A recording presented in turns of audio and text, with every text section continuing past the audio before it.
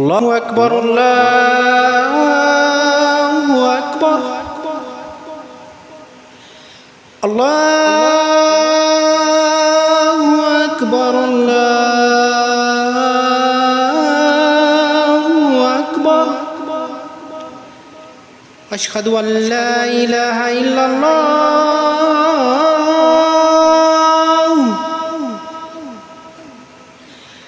أشهد أن لا إله إلا الله. أشهد أن محمد رسول الله.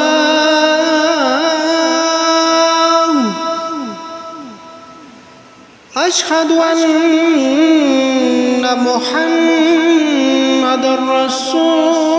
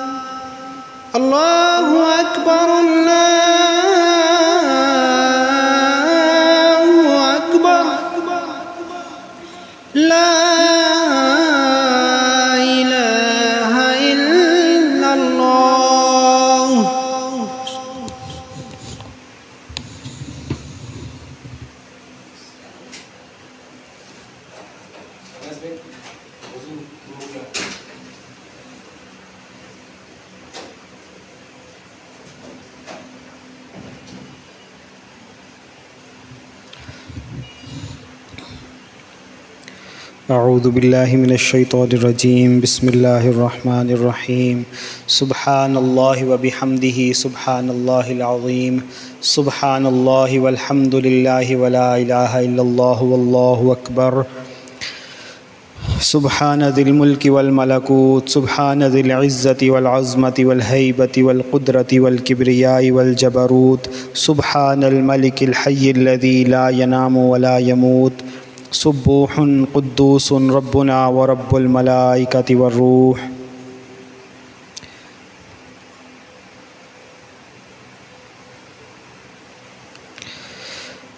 من يهده الله فلا مضل له ومن يضلله فلا هادي له.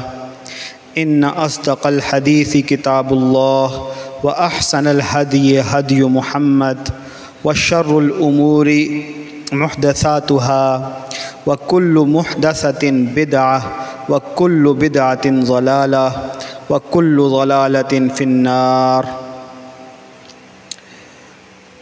بعثت محمد رسول الله صلى الله عليه وسلم والساعة كهاتين.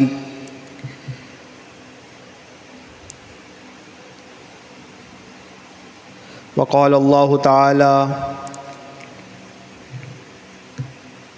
اقترب للناس حسابهم وهم في غفلة معرضون. والصلاة والسلام على سيدنا محمد وعلى آله وأصحابه وأهل بيتهم أجمعين.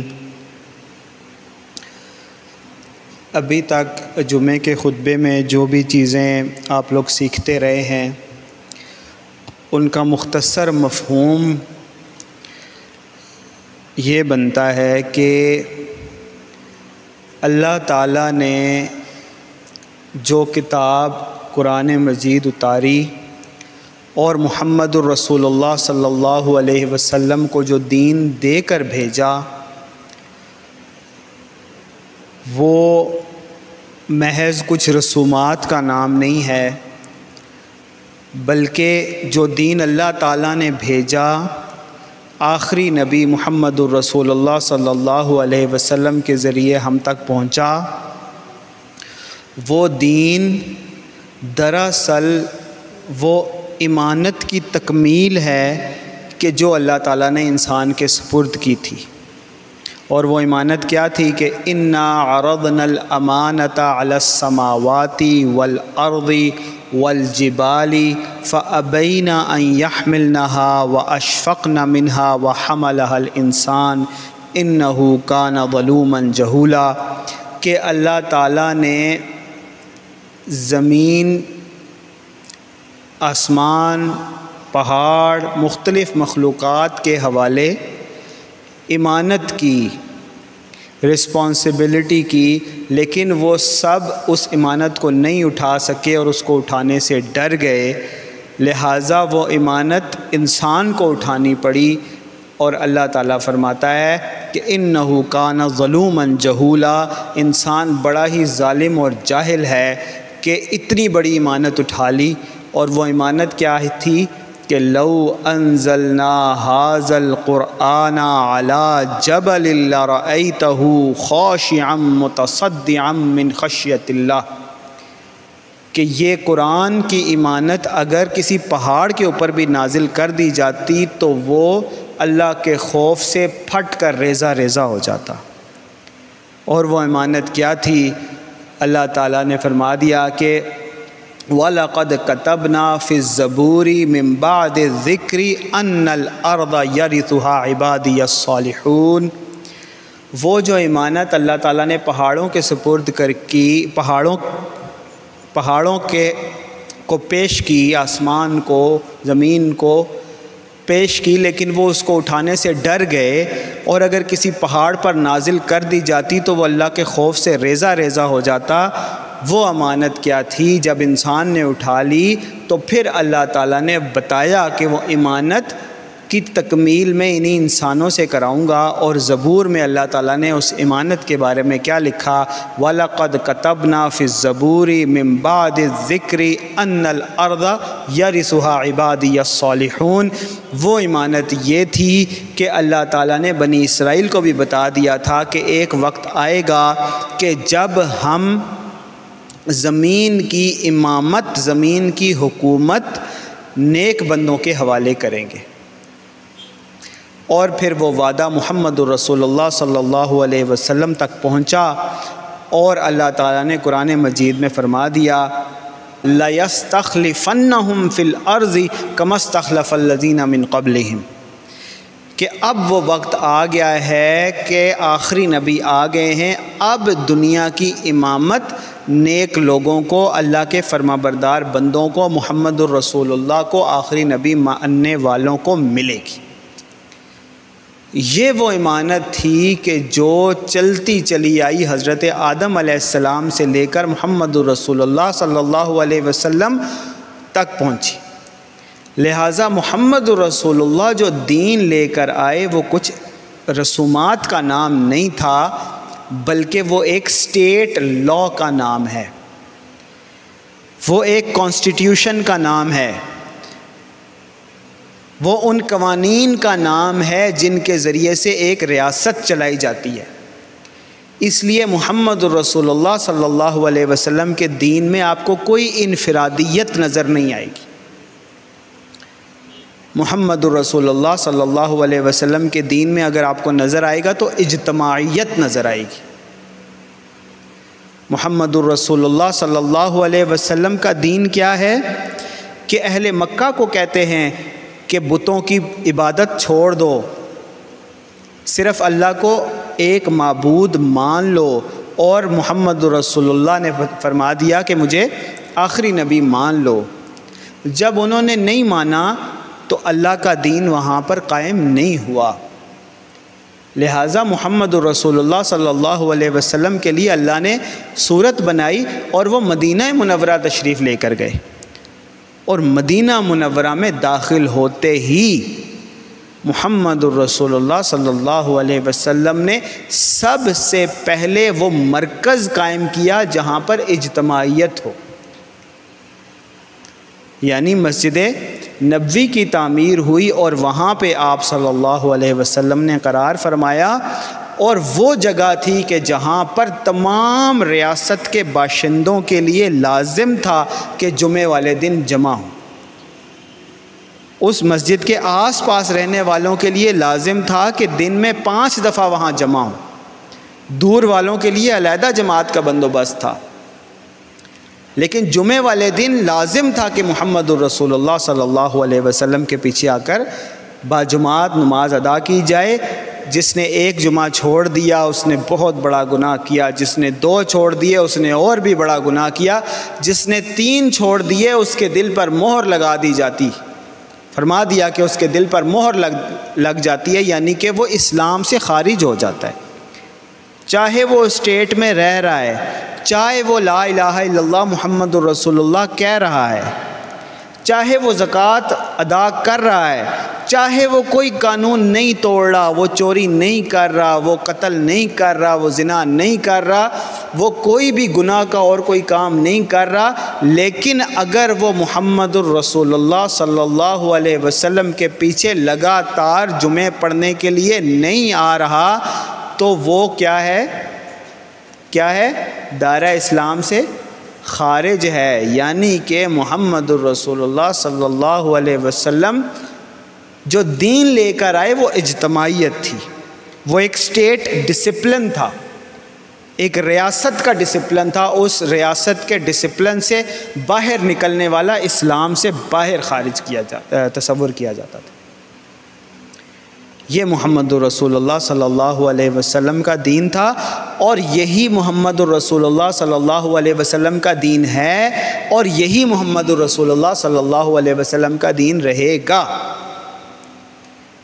اس کے علاوہ اگر کوئی یہ سمجھتا ہے کہ وہ نمازیں پڑھ لینے سے، کچھ تسبیحات، وظیفے کر لینے سے، قربانی، انفرادی دے دینے سے، انفرادی عبادات کر دینے سے مسلمان بن جاتا ہے، تو اس کو محمد الرسول اللہ صلی اللہ علیہ وسلم کی یہ حدیث یاد رہنی چاہیے کہ جس نے تین جمعے بلا کسی شرعی عذر کے چھوڑ دیے، اس کے دل پر مہر لگا دی جاتی ہے۔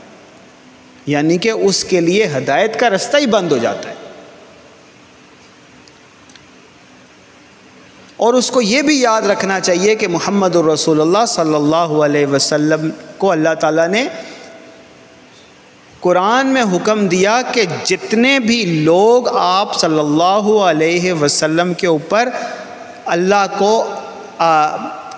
ایک معبود مان رہے ہیں، محمد الرسول اللہ کو آخری نبی مان رہے ہیں، ان کے اوپر یہ لازم ہے کہ وہ نماز پڑھیں اور یہ بھی لازم ہے کہ خز من اموالہم صدقاتہم کہ ان کے اموال میں سے زکوٰۃ لی جائے۔ خز من اموالہم، لے لیں آپ۔ یہ نہیں کہا گیا کہ وہ ادا کریں، صدقہ دے نہیں خز من اموالہم، ان کے مالوں میں سے صدقہ آپ لے لیں۔ اسٹیٹ کو حق حاصل ہے کہ وہ ان کے مال میں سے، جو اللہ نے مال ان کو دیا ہے وہ جو لازم صدقہ ہے، لازم اماؤنٹ جو انہوں نے پے کرنی ہے، وہ لے لے اسٹیٹ ان میں سے۔ اور زکوٰۃ سال میں کتنی دفعہ ادا کی جاتی ہے؟ ایک دفعہ۔ اور فسکل ایئر میں ہر جون میں جو فسکل ایئر فائنینشیل ایئر آپ کا سٹارٹ ہوتا ہے، اس میں سال میں ایک دفعہ کیا ادا کرتے ہیں آپ اپنی اسٹیٹ کو؟ ٹیکس ادا کرتے ہیں۔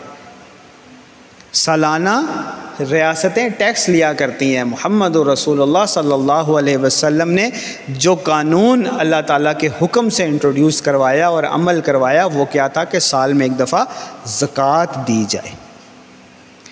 اور جو زکوٰۃ ادا نہ کرے، جو زکوٰۃ ادا نہ کرے، ابو بکر صدیق رضی اللہ تعالیٰ عنہ فرماتے ہیں کہ میں اس کے ساتھ جنگ کروں گا۔ اور عمر رضی اللہ تعالیٰ عنہ فرماتے ہیں کہ حضرت ابو بکر کو اللہ تعالیٰ نے دین کی سمجھ عطا فرما دی تھی۔ پانچ ارکان ہیں اللہ کے دین کے۔ پہلا کیا ہے؟ ایمان لانا، توحید۔ اللہ کے سوا کوئی معبود نہیں۔ محمد الرسول اللہ اللہ کے آخری نبی ہیں۔ ایمان لانا کہ اللہ تعالیٰ نے محمد الرسول اللہ صلی اللہ علیہ وسلم سے پہلے بھی انبیاء اور رسول بھیجے۔ آسمانی کتابوں پر، فرشتوں پر ایمان لانا۔ دوسری بات، نماز قائم کرنا۔ نماز قائم کیسے ہوتی ہے؟ جب تک محمد الرسول اللہ صلی اللہ علیہ وسلم مکہ میں تھے، نماز قائم نہیں ہو پا رہی تھی۔ نماز ادا فرماتے تھے آپ صلی اللہ علیہ وسلم، قائم جا کر مدینہ میں ہوئی۔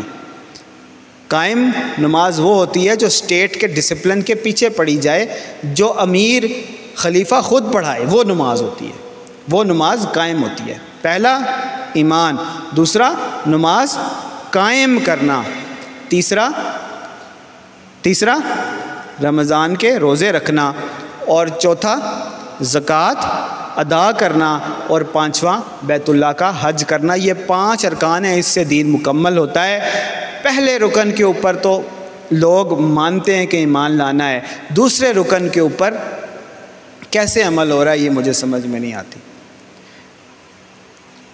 نماز قائم تب ہوتی ہے کہ جب اللہ کی زمین پر اللہ کا نظام قائم کیا جائے اور پھر خلیفہ وقت خود نماز پڑھائے۔ اور اس کے پیچھے تمام لوگ نماز ادا کریں اور وہ اجتماعی طور پر جو ڈسپلن قائم ہوگا وہ ہوگی نماز قائم کرنا۔ یہ ہے اللہ کے رسول صلی اللہ علیہ وسلم کے ذریعے جو اللہ نے دین بھیجا، یہ ہے اللہ کا دین۔ اس کے علاوہ جو کچھ ہے، اس کے علاوہ جو کچھ ہے، وہ یہودیت ہو سکتی ہے، وہ دیوبندیت ہو سکتی ہے بریلویت ہو سکتی ہے شیعہ ہو سکتا ہے، سلفیت ہو سکتی ہے، مگر وہ اسلام نہیں ہے۔ اسلام صرف یہ ہے کہ اللہ کی زمین پر اللہ کا نظام اور اس اسٹیٹ کا قانون اسلام۔ یہ بک آف لا ہے کانسٹیٹیوشن ہے۔ اس کے علاوہ جو کچھ بھی ہے وہ اسلام نہیں ہے۔ اللہ صلی علی سیدنا محمد وعلی علیہ وصحابہ واہل بیتہ مجمعین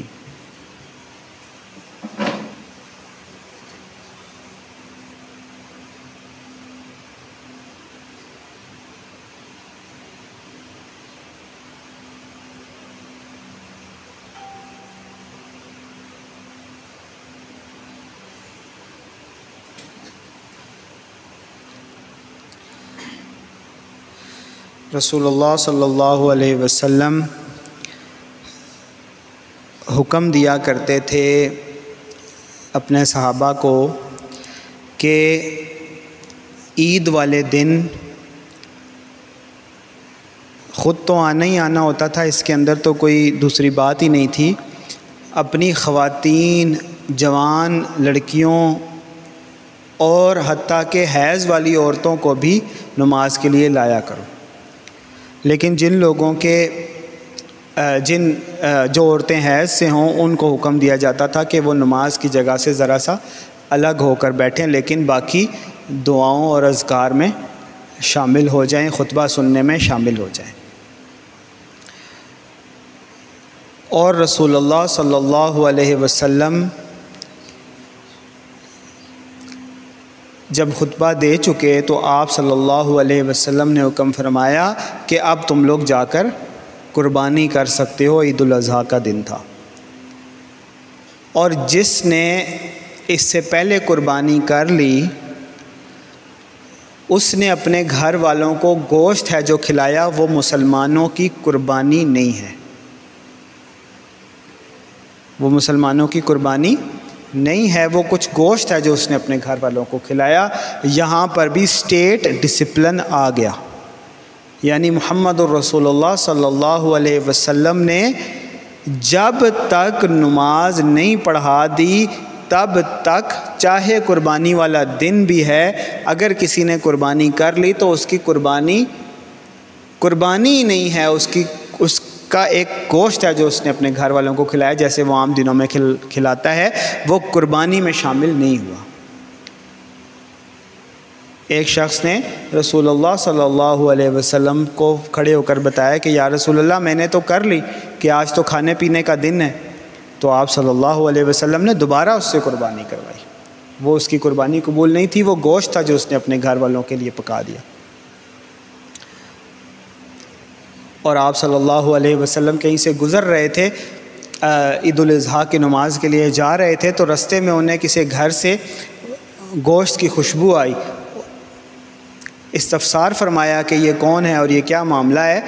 تو بتایا گیا کہ فلاں، وہ شخص باہر آ گئے اور انہوں نے کہا کہ یا رسول اللہ، میں نے تو قربانی کر لی اور پکوا لیا گوشت آ کر، تاکہ جلدی ہو جائے، کھانے پینے کا دن ہے، میں خود بھی کھاؤں اور باقیوں کو بھی کھلاؤں۔ تو آپ صلی اللہ علیہ وسلم نے اس شخص کو بھی دوبارہ قربانی کرنے کا حکم دیا اور فرمایا کہ یہ جو تو نے گوشت پکایا ہے، یہ وہ گوشت ہے جو تو نے پکایا ہے جو اپنے گھر والوں کو کھلائے گا، یہ مسلمانوں کی قربانی نہیں ہے۔ لہٰذا جب تک رسول اللہ صلی اللہ علیہ وسلم کا قائم کردہ ڈسپلن نہ ہو، تو وہ اسلام نہیں ہے۔ جو جہاں کہیں پہ بھی سو کالڈ نمازیں پڑھی جا رہی ہیں، وہ نمازیں پڑھی جا رہی ہیں، وہ قائم نہیں ہو رہی۔ مشکل بات ہے، کسی کو اچھی لگے یا بری لگے، آپ صلی اللہ علیہ وسلم کا، کی حدیث کا مفہوم ہے کہ جس کسی نے عصبیت کا نعرہ لگایا، نسل کا نعرہ لگایا، اس نے جاہلیت کا نعرہ لگایا۔ اور اس وقت دنیا میں ایک بھی ریاست، ایک بھی حکومت ایسی نہیں ہے کہ جو لا الہ الا اللہ کے لیے بنی ہو، تمام تر حکومتیں اور ریاستیں عصبیت کے اوپر بنی ہوئی ہیں۔ دنیا جتنی ترقی یافتہ دکھتی ہے، اتنی ہی جاہلیت میں ہے۔ جس ملک کے اماموں کے پیچھے آپ لوگ بڑی فخر سے نمازیں پڑھتے ہیں، اس کا تو نام ہی سعودی عرب ہے۔ ایک شخص کے نام کے اوپر ہے کہ ہم نسلی طور پر بادشاہ ہیں۔ آل سعود خود کو لکھواتے ہیں، ایک بادشاہ کی اولاد لکھواتے ہیں۔ وہاں پر پڑھی جانے والی نمازیں بری لگے یا کسی کو اچھی لگے، قبول نہیں ہے۔ کسی کا حج ان لوگوں کے پیچھے قبول نہیں ہے، کسی کی قربانی قبول نہیں ہے۔ حدیث شریف میں آتا ہے کہ ایسے لوگ آئیں گے قیامت سے پہلے کہ جو بڑی خوش الحانی سے قرآن پڑھا کریں گے، بڑی ترتیل سے گا گا کے پڑھا کریں گے، لیکن ان کے حلق سے وہ قرآن نیچے نہیں اترا ہوگا یعنی عمل کا ان کو نہیں پتہ ہوگا، اس کے حق کا انہیں نہیں پتہ ہوگا کہ کیسے ادا کی جاتا ہے۔ لہٰذا تمام تر لوگ جو دنیا میں جہاں کہیں پہ بھی ہیں، ان کو یہ معلوم ہونا چاہیے کہ اس وقت دنیا میں صرف ایک سٹیٹ رہ گئی ہے جو بنی لا الہ الا اللہ کے نام پر تھی اور وہ ہے ریاست پاکستان۔ لیکن اس کا اعلی کار سنبھالنے والے لوگ اب بھی وہی ہیں جو مختلف عصبیتوں کے نعرے لگا رہے ہوتے ہیں یا سیکولرزم کا نعرہ لگا رہے ہوتے ہیں، اسلام کا نعرہ کہیں بہت پیچھے رہ گیا۔ اور اگر کوئی اسلام کا نام بھی لے رہا ہو تو وہ اس ملک کا حکمران بن کر بیٹھا ہوتا ہے کہ جس جو قانون اپنا بنا کر بیٹھا ہوا ہے قرآن اور حدیث کی موجودگی میں۔ اللہ کے کانسٹیٹیوشن قرآن کی موجودگی میں ایسا کانسٹیٹیوشن انہوں نے بنایا ہوا ہے جس کے اندر ٹرانسجنڈر بل بھی ہے اور ایسے قوانین بھی ہیں جس کے اندر محمد رسول اللہ صلی اللہ علیہ وسلم کی بتائی ہوئی سزا اور جزا کے قوانین کے خلاف قوانین موجود ہیں۔ لہٰذا ریاست پاکستان بھی اس وقت کفریہ ہتھ کنڈوں کے ہاتھ میں یرغمال بنی ہوئی ہے۔ تو لوگ اپنے شوق سے جس کو یہ جمعہ سمجھ رہے ہیں وہ پڑھتے رہیں، جس کو وہ نمازیں سمجھ رہے ہیں وہ پڑھتے رہیں، لیکن نماز قائم کہیں پر بھی نہیں ہو رہی۔ اور یہی معاملہ تمام تر دوسری عبادات کا بھی ہے، دوسری رسومات کہنا چاہیے جو یہ لوگ کرتے ہیں۔ اور یہی معاملہ قربانی کا بھی ہے کہ جب تک خلافت کے ساتھ، اجتماعیت کے ساتھ نماز عید الاضحیٰ ادا نہیں کی جائے گی تب تک قربانی کسی کی قبول نہیں ہے، وہ گوشت ہے جو اس نے اپنے گھر والوں کو کھلا دیا۔ یہی معاملہ تمام تر دوسرے معاملات کا ہے کہ جب تک اپنا قبلہ درست نہیں کیا، خلافت کے ساتھ آ کر شامل نہیں ہوئے اور خلافت کے ایک نظام، ایک ماڈل کی طرف کم از کم آ کر شامل نہیں ہوئے، تب تک نہ نماز قائم ہوئی نہ اسلام مکمل ہوا، نہ ہی قربانی قبول ہے۔ تب تک کچھ رسومات ہیں جو یہ لوگ کر رہے ہیں، کچھ گوشت ہے جو یہ لوگ کھاتے رہتے ہیں ویسے بھی، اور اس دن بھی کوئی خوشی ہے جو یہ منا لیتے ہیں، جو ویسے دوسرے موقعوں کے اوپر نیو ایئر نائٹ پہ بھی منا لیتے ہیں کچھ دوسروں موقعوں کے اوپر بھی منا لیتے ہیں۔ وہی خوشی ہے جو عید والے دن بھی وہ لوگ منا لیتے ہیں۔ اقول قولی حاضہ وصطفر اللہ علی ولکم ولسائر المسلمین والمسلمات والمؤمنین والمؤمنات. اللہم تقبل منا انکا انت السمیع العلیم. اللہم صلی علی سیدنا محمد وعلی آلہ واصحابہ وعلی بیتہم اجمعین.